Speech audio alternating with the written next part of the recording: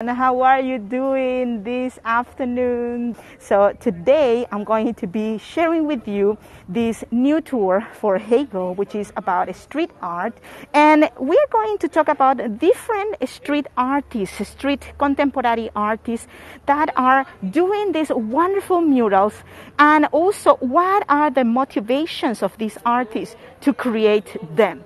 We are seeing elements that are more Amazonic uh, can you feel the Amazonic vibe here? Selva one, he's specialized actually in psychedelic uh, images that are very into uh, shamanic, uh, uh, uh, Amazonian shamanic motifs, right? Where we have lots of nightclubs and pubs.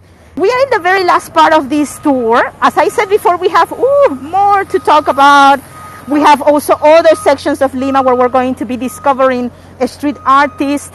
Eh, and this is just the beginning.